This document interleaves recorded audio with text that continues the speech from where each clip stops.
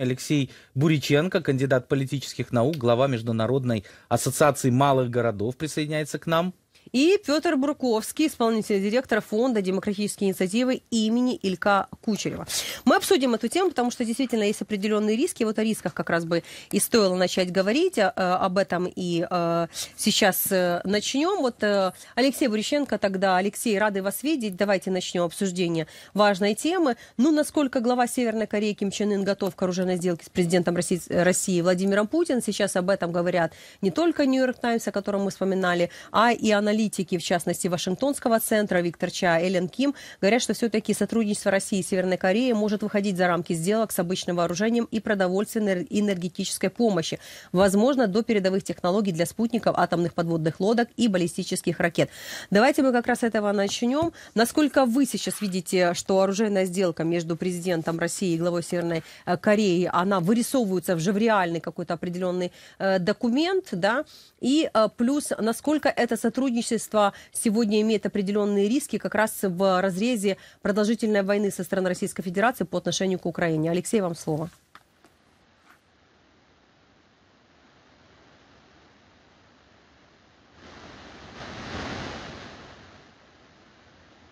Да, прошу прощения, эм, это я на кнопочку нажал.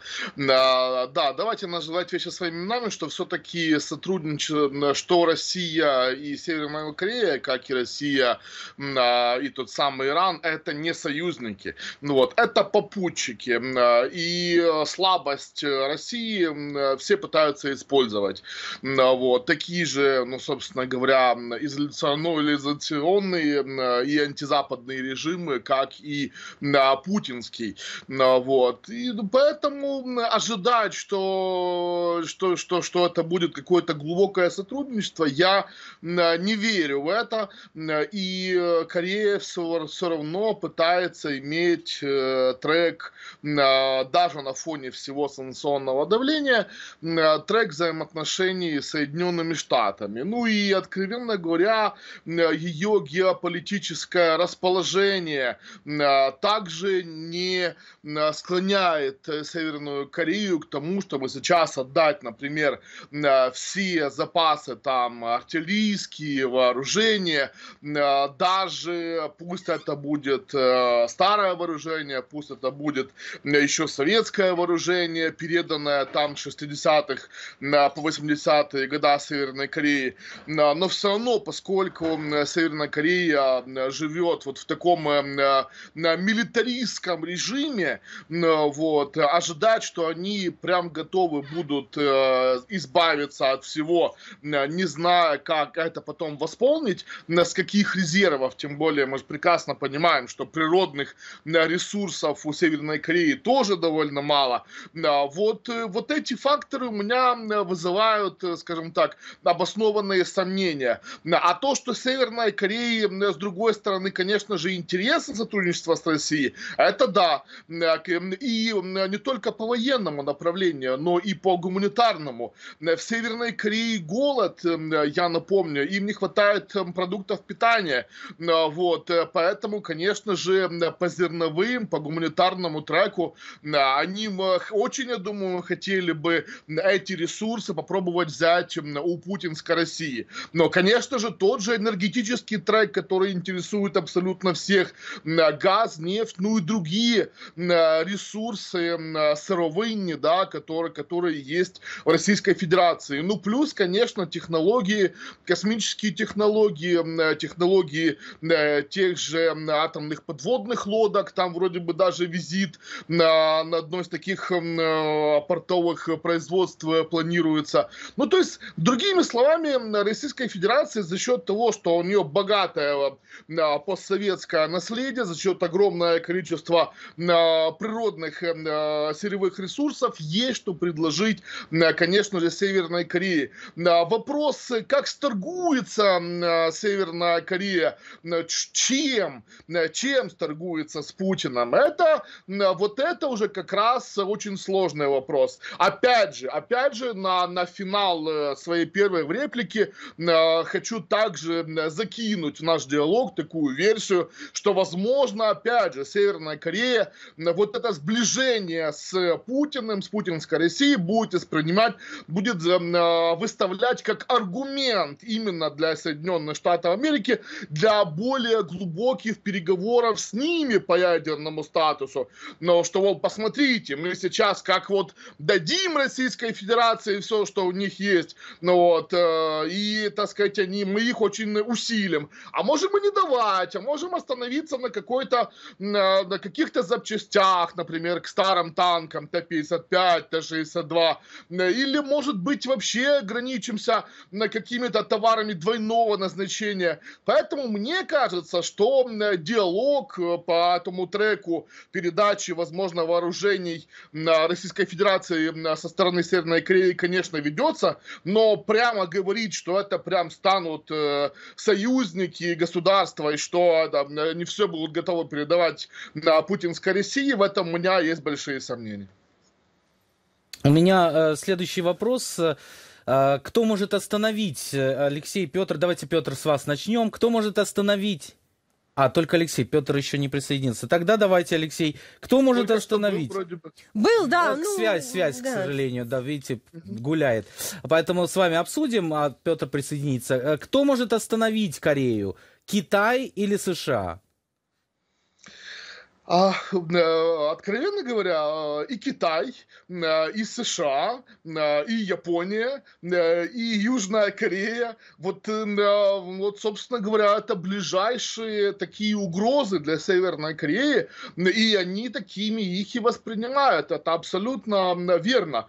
Кто может себе подумать, что, ну, наивно, да, что ближайший, например, партнер для Северной Кореи является Китай, ошибается, потому потому что Китай даже пытался свергнуть режим Северной Кореи. Поэтому Китай для Северной Кореи не дружеская страна, но и абсолютно очевидно уже, что и Япония, которая является частью G7, ну и в принципе, скажем, цивилизованного мира и главным союзником в этой части мира океании Соединенных Штатов, конечно же, тоже для них партнером быть не может. Ну, про Южную Корею я просто молчу уже, да, это абсолютно очевидно. Ну вот, а поэтому, учитывая огромное количество, прежде всего, гуманитарных проблем сейчас э, в Северной Корее, они даже вынуждены были границы открыть, но, в частности, в Российскую Федерацию, чтобы хоть как-то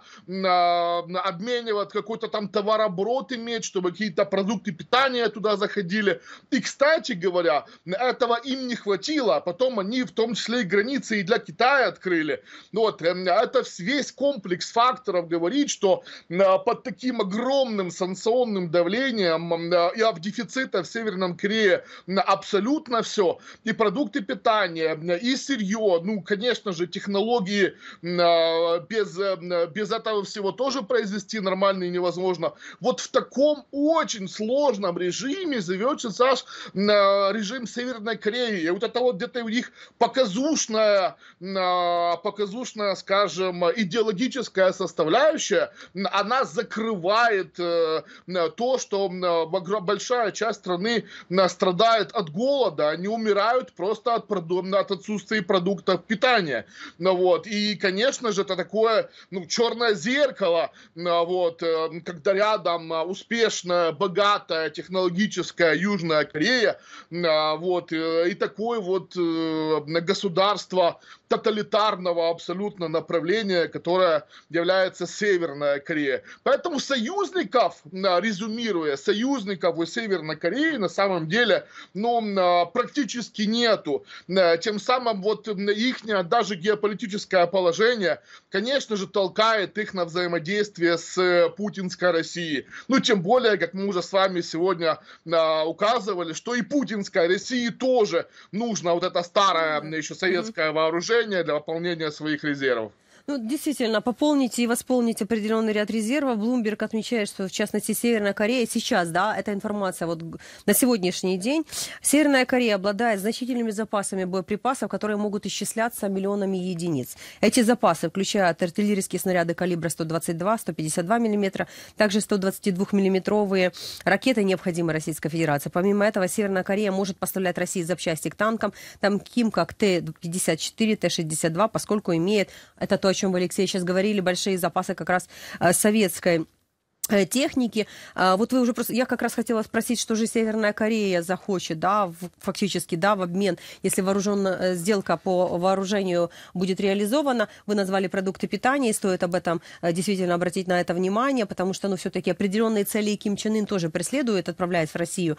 Военно-техническое сотрудничество, что более сейчас необходимо Российской Федерации, но вот поставки гуманитарной финансовой помощи Северной Корее, я напомню, что очень сильная экономика пострадала, и развитие экономики пострадало после пандемии пандемии э, коронавируса. И вот как раз вы вспомнили продукты питания. Действительно, определенные регионы, где голод, да, сегодня царствует, это и в Северной Корее, закрытие границ, запрет на импорт, э, зерно из Китая. Вот важный все-таки аспект. Зерно Китай, удобрения, оборудование сельскохозяйственное. И страна все-таки переживает массовый голод, об этом сейчас э, говорят и пишут. Но чтобы еще, как вы считаете... Ну, с Китая, с Китая в основном да. риса, Рис, да? с зерном. Но все равно, ну, этого тоже да, да. в определенные моменты эти поставки покрывали, и не настолько, да, сейчас BBC пишет, что уже массовый голод наблюдается в Северной Корее. Понятно, что об этом Ким Чен Ын не будет говорить в открытую, а будет в очередной раз показывать испытания там какой-то ракеты и так далее, еще и своего ребенка, свою дочку, сколько там, 13 лет или сколько подростка э, будет э, брать с собой для того, чтобы показать эту военную мощь, да,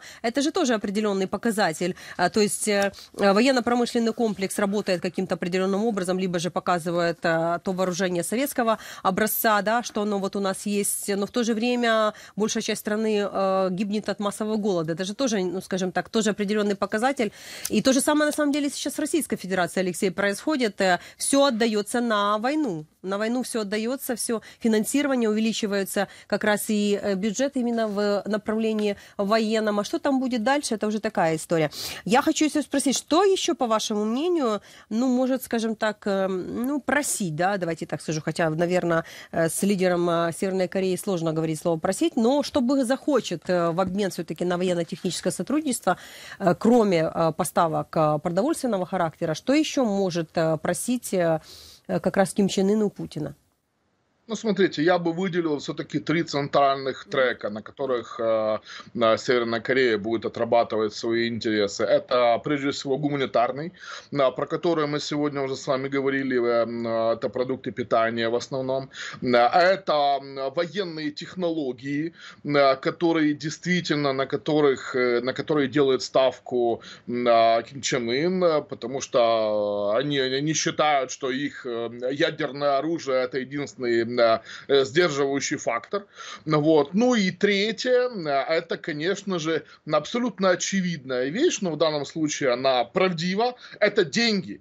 Вот. Им, им нужны деньги. Э, вот на самом деле где-то вот вокруг вот этих трех основных базовых вещей и будут происходить переговоры. Да, Российская Федерация очень просела по деньгам. У них где-то примерно минус 50% 10% в доходах от их двух основных статей. Это экспорт э, нефти и экспорт газа. Они вынуждены продавать их серыми схемами, они вынуждены продавать их э, в минус, э, учитывая то, что у них просто нету резервов для долгосрочного их хранения. Вот, но все равно в Российской Федерации, Российская Федерация и Путин готовились к войне, и этот вот фонд благосостояния, который они создали, это как раз их подушка безопасности. Да, в том году было три скрытых секвестра. Да, много про какие проблемы даже открыто уже говорит глава Нацбанка, та же Анабиулина. Э, да, большие проблемы в э, проведении социальных выплат,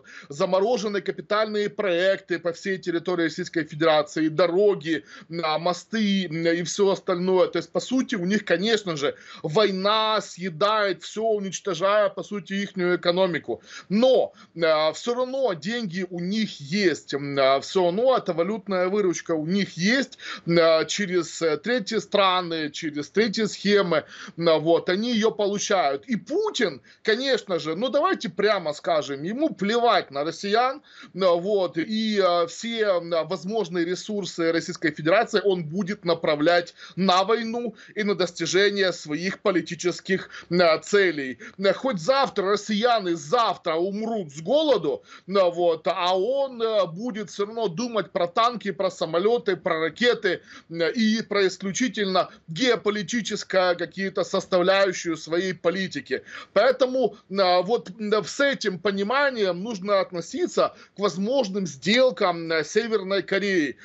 Путин будет готов на самом деле пойти на многое, чтобы получить вот это вот старое советское вооружение, которое на складах еще есть в Северной Корее, как мы уже сказали, это и стрелковое оружие, это, это арт-системы, это много боеприпасов к ним, и это довольно большое количество танков. Очень сейчас сложно сказать точное количество, но эксперты говорят, что их там действительно достаточное количество. Но тут опять же есть нюанс. Далеко не даже если они договорятся, даже если часть этого вооружения действительно Россия сможет по сути купить за разные приятные плюшки для Северной Кореи, далеко не факт, что оно пойдет на украинские фронта. И это чрезвычайно важно. Когда Финляндия и Швеция по сути стали членам НАТО, сейчас э, им нечем, э, и увеличили значительно эту границу с НАТО,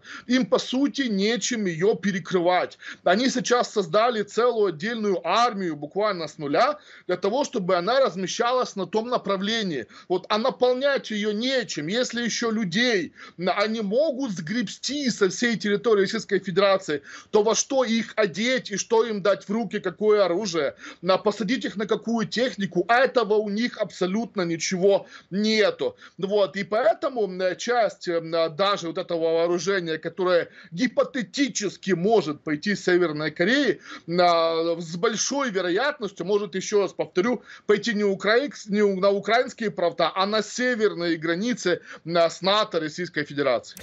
Знаете, вот э, пока мы сейчас с вами размышляем над, над всем этим, Алексей, а, ведь э, очень известный метод э, северокорейской политики, этим методом пользовался отец нынешнего диктатора и сам нынешний диктатор Ким Чен Ын, это шантаж. Они, по сути дела, и ракеты свои очень часто запускали для того, чтобы испугать, отступить и выторговать. Вот в это, если эту концепцию взять, ну что стоит, согласитесь, там 600 километров от э, Пхеньяна до Владивостока, одну ночь на поезде, пожать руку этому абсолютному изгою Путину. На, бро- на бронепоезде. На бронепоезде, да, пожать руку Путину, а потом использовать это для торга с Западом, с Вашингтоном. Вот как вам вот такое? Может быть, это просто старый добрый северокорейский шантаж?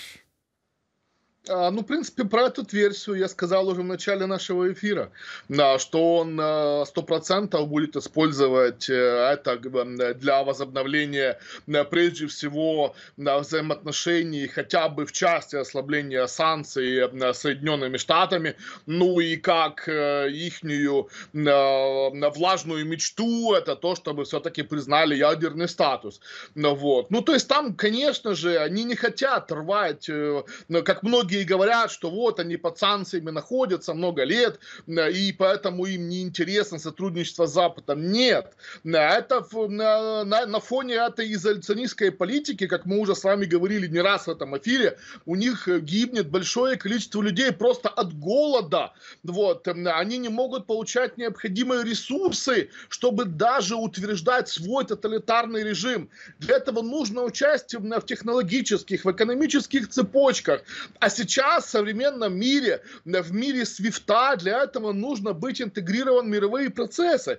Вот поэтому, конечно же, если ставить на чашу весов, например, на, скажем, более плотное сотрудничество с Соединенными Штатами, на получение определенных санкционных послаблений, на вот, и сотрудничество с Россией, которое даст им недостаточно, и при этом поставит их в союзника, в статус союзника-агрессора, поэтому в таком раскладе, конечно же, Северная Корея выберет Соединенные Штаты Америки, это абсолютно очевидно. Вот поэтому, да, я глубоко убежден в том, что такие переговоры глубокие, нормативно обоснованные, когда уже они и листами обменялись, когда уже и встречи назначены, когда уже и порядок вопросов в принципе обозначен, является максимально сильным аргументом для Соединенных Штатов, которые, да, конечно же, они будут по максимуму использовать, и, может быть, как следствие,